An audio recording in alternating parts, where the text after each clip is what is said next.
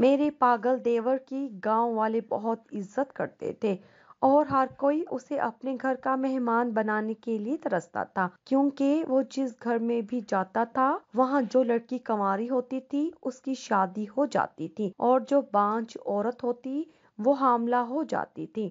मेरे लिए अजीब बात थी, क्योंकि मेरे शोहर को अपने ही भाई से नफरत थी और वो मुझे लेकर अलहदा रहता था और अपने घर में सगे भाई को कदम भी न रखने देता था। हालाँकि मैं भी तो पाँच सालों से बांझ थी। एक दिन शोहर कारोबारी सिलसिले में मुल्क से बाहर गया तो मैंने उसे अपने घर में दावत दे दी। वो बहुत खुश होकर घर आ गया, मगर उस वक्त सर पर आसमान टूट पड़ा क्योंकि जब मेरी नज़र, मेरा नाम नाजिया है, मैं अपने बहन भाइयों में सबसे छोटी थी। सबकी शादियाँ हो चुकी थी।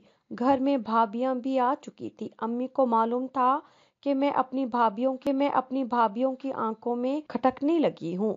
मेरे अपने सगे भाई मुझसे दूर हो गए थे। मैं बहुत हैरान होती कि सगे रिश्ते इतने ही कमज़ोर होते हैं कि चंद लम्हों में सालों का प्यार और उन्स खत्म हो जाता है।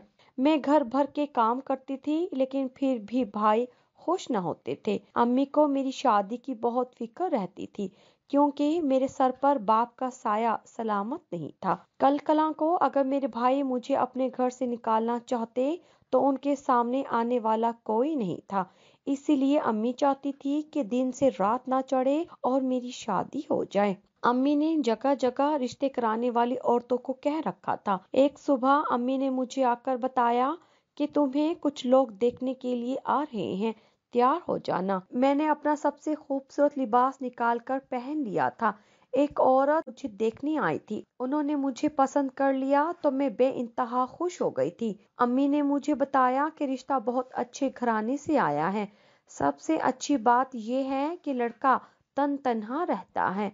वो अपने वालदेन के साथ नहीं रहता। मुझे भी ये बात सुनकर बड़ी खुशी हुई थी, क्योंकि मैं जानती हूँ कि ससुराल में बहुत मसले मसाइल निकल आते हैं। मैं तो पहले ही अपनी भाभीियों के हाथों छलनी छलनी थी। खैर, अम्मी ने इस रिश्ते के मुतलिक भाइयों को बताया तो उन्होंने भी फ़ौरन हाँ कह दी थी, क्योंकि वो तो पहले ही ये चाहते थे कि बस किसी न किसी तरह हमारी बहन की शादी कर दी जाए और वो इस घर से चली जाए।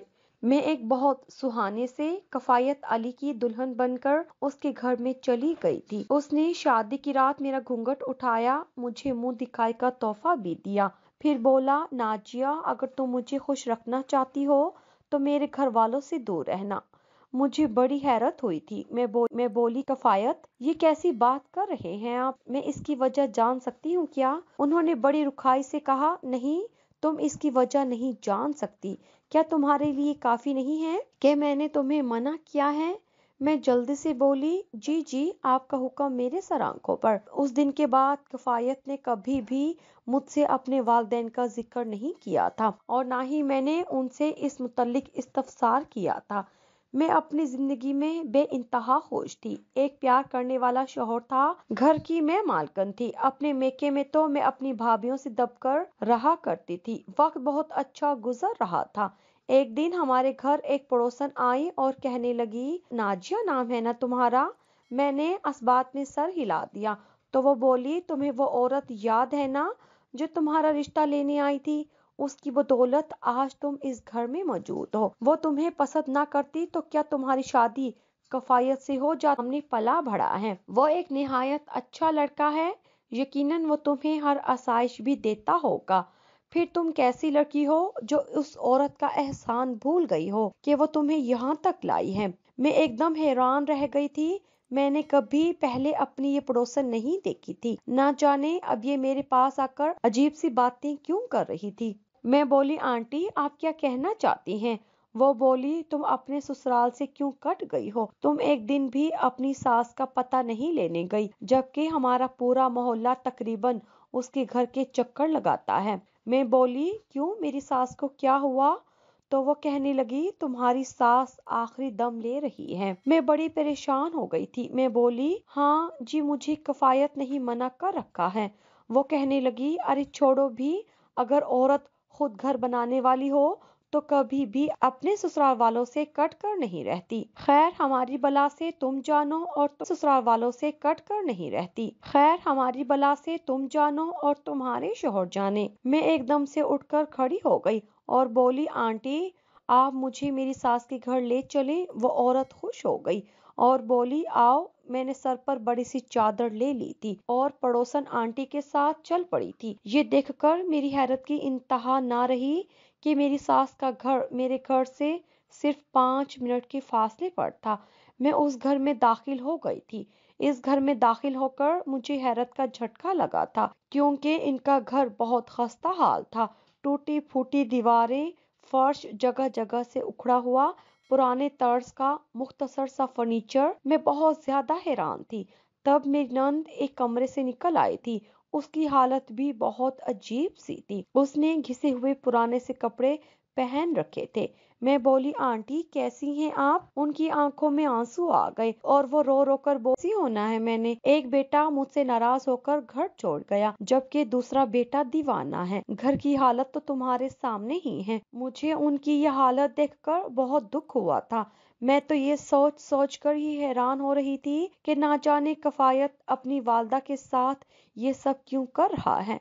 कफायत अच्छा खासा कमाता है। हमारे घर में हर शय वाफर मकदार में पाई जाती थी, जबकि यहाँ तो ऐसा लगता था कि जैसे खाने के लाले पड़े हों। मैं बहुत ज़्यादा डिस्टर्ब हो गई थी। अपनी सास की तरफ़ देखकर मुझे मेरी अम्मी की याद आ गई थी कि अगर मेरे भाई मेरी अम्मी के साथ भी ऐसा सलूक करें तो क्या मैं ये सब बर्दाश्त कर सकूँगी? मैं बड़े दिल के साथ वहाँ से उठ आई थी। घर पहुँची तो ये देखकर हैरान थी कि घर का ताला खुला हुआ था।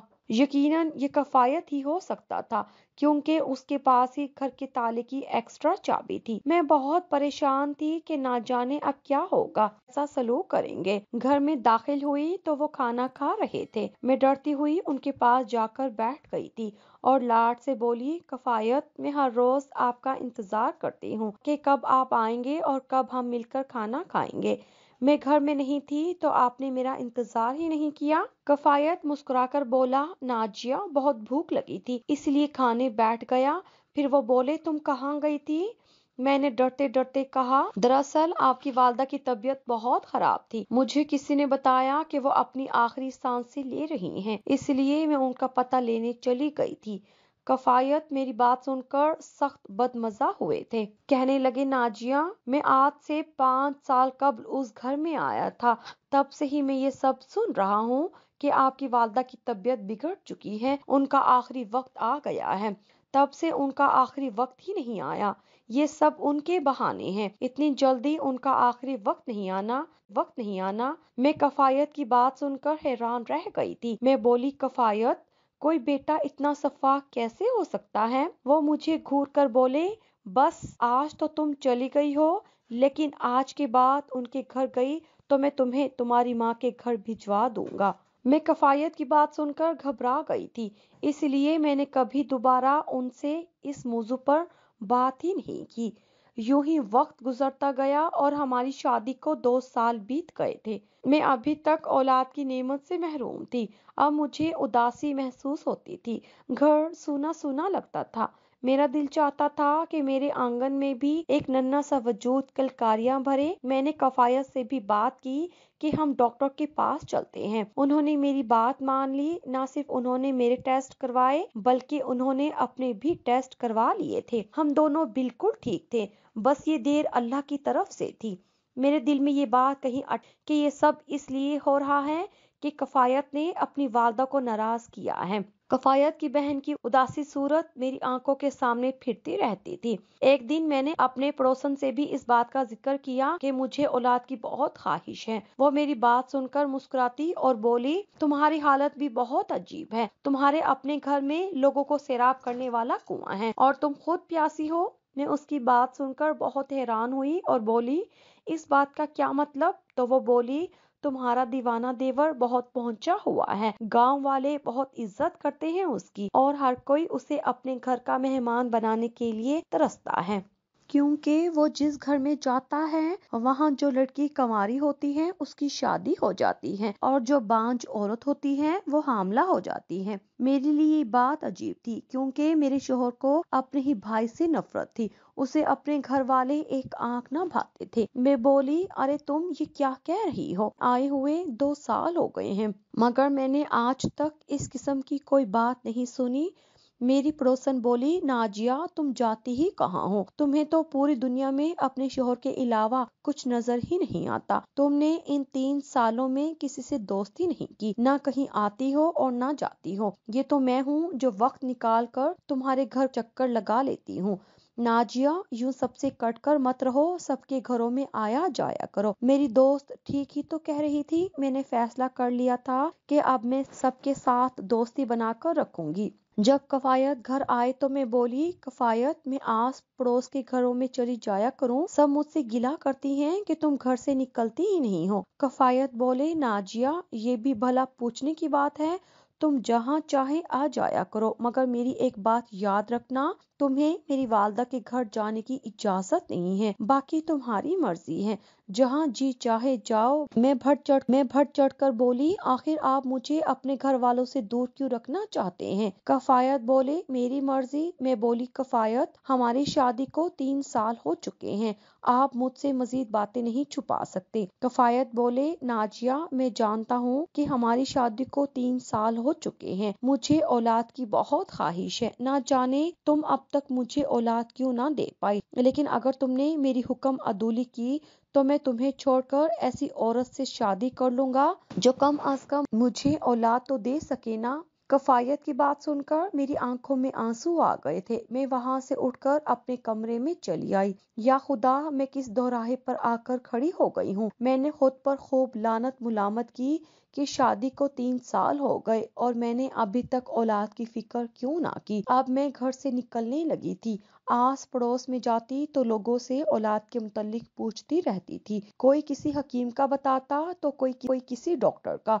मैंने कोई जगह नहीं छोड़ी थी, जहाँ मैं औलाद की गर्ज से नहीं गई थी। मगर ना जाने अभी मेरी किस्मत में औलाद क्यों ना थी। अब तो हर दिन मायूसी में गुजरता था। मेरी सहेली पड़ोसन ने मुझे बताया, तुम फ़िक्र ना करो तुम अकेली नहीं हो, जिसके यहाँ औलाद नहीं हुई। हमारे साथ के मोहल्ले में हाजन बी की बहू तुमसे छह माह कबल ब्याह कर आई थी। वो बेचारी भी औलाद की नेमत से महरूम है। उसने कोई डॉक्टरी इलाज नहीं छोड़ा, मगर कोई अफाका नहीं पड़ा। सब मशवरा देते हैं कि वो तुम्हारे दीवाने देवर को अपने घर में दावत दे। मगर वो जरा पढ़ी लिखी है। वो कहती है कि मुझे इस किस्म की बातों पर कोई यकीन नहीं है। मैंने जब उस लड़की के मुतालिक सुना तो दिल को ढारस मिली थी। यूँ ही मेरी शादी को पाँच वर्ष हो चुके थे। इस दौरान कफायत ने एक बार भी मुझसे औलाद का मुतालबा नहीं किया था। मैं ही थी जो दिल ही दिल में डरती रहती थी कि अगर कफायत ने मुझे छोड़ दिया तो मैं क्या करूँगी? एक दिन मेरे पड़ोस से मेरी सहेली नाजिया मेरे पास आई और बोली, हाजन बी ने इरादा कर लिया है कि वो अपने बेटे की दूसरी शादी कर देंगी। जब उनकी बहू ने बात सुनी तो उसने उनसे चंद माह का वक्त मांग लिया। उनकी बहू कहती है कि एक बार यासिर दीवाने को अपने घर में बुलवा कर देख लेती हूँ। शायद अल्लाह करम कर दे, मेरे कान खड़े हो गए थे।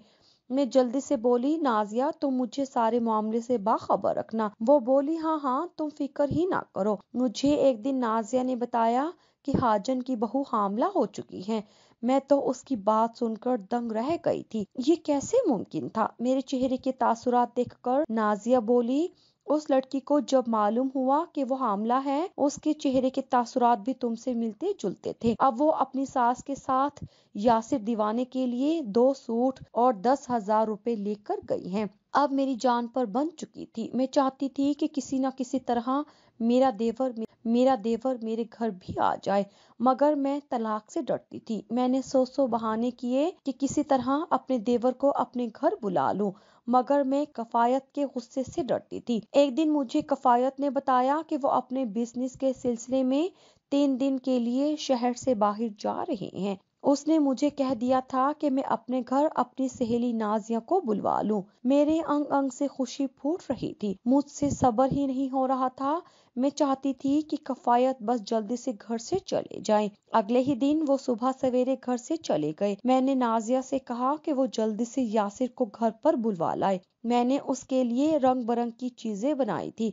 वो दोपहर दो बजे हमारे घर आया था। वो बहुत खामोश तबीयत का मालिक था। मुझसे उसने एक ही जुमला बोला था, कहने लगा, अल्लाह तुम्हारी मुराद बहुत जल्द पूरी करेगा। फिर वो पूरे घर में घूम फिर कर देखता रहा और फिर खाना खाकर चला गया और फिर खाना खाकर चला गया। मैं नाजिया से बोली, नाजिया, मेरे यहाँ औलाद कैसी होगी? मेरे देवर ने तो मुझे कोई दवाई नहीं दी। नाजिया बोली, तुम फ़िक्र ना करो, वो किसी को भी दवा नहीं देता। उसका तरीका इलाज ही है। वो पूरे घर में चल फिर कर देखता है और बस। मैं चुप कर गई थी। अब मुझे बेसब्री से इंतज़ार था कि कब मुझे औलाद की खुशखबरी मिलेगी। यूँ ही तीन दिन गुजर चुके थे। कफायत घर वापस आ गए थे। वो बोले, आज मैं सारा दिन आराम करना चाहता हूँ। मैं बोली, आप आराम से सो जाएँ। वो सो गए। मेरी तबीयत बैठे बिठाए खराब हो चुकी थी। मैं बहुत परेशान थी कि मुझे ये क्या हो गया है। कफायत जब सोकर उठे, तब भी मेरी तबीयत खराब ही थी। कफायत मेरे लिए बहुत परेशान हुए थे। यूँ ही एक हफ़्ता गुजर गया। एक दिन जब कफायत काम से वापस आए तो मैं उनके पास आनेट पर खुली थी। कफायत का चेहरा बहुत ज़्यादा संजीता था। मैं बोली, कफायत, क्या बात है? वो गुस्से से बोले तुम शादी के पाँच साल बाद भी हामला नहीं हुई थी। मगर मैं जैसे ही तीन रोज के लिए घर से निकला तो तुम हामला हो गई। सच सच बताओ, माजरा क्या है? मैं रोने लगी थी। वो बोले, क्या तुमने मेरे भाई को घर पर मधु किया था? मैंने इस बात में सर हिला दिया और वो बोली, ये बच्चा मेरा नहीं है। तुम इस बच्चे को खत्म करा दो, फिर ही मैं तुम्हें अपने घर में दाखिल होने की इजाज़त दूँगा। वो इतना कहकर मुझे अस्पताल में ही छोड़कर चले गए थे। मैं तो इस अचानक आफ्ताब पर बहुत घबरा गई थी। मेरी आँखों से आँसू गिरते चले जा रहे थे। मैंने जल्दी से नाजिया को फ़ोन करके अस्पताल बुला लिया था। मैंने उसे सारा माजरा सुना दिया तो वो भी बहुत परेशान हो गई थी। वो बोली, मुझे कफायत भाई से इस किस्म की हरकत की तो नहीं थी। फिर वो मुझे अपने साथ घर ले गई थी। मेरी तबीयत घर ले गई थी। मेरी तबीयत अब बहुत हद तक संवर चुकी थी। वो बोली, आओ, हम तुम्हारी सास के घर चलते हैं। उसी से सारा माजरा पूछते हैं क्या पता कि कोई राह निकल आए। मैं भी जल्दी से उठकर खड़ी हो गई थी। हम दोनों मेरी सास के घर आ गए थे। मेरी सास का घर अब पहले से बहुत बेहतर था। उनके हालात बदल चुके थे।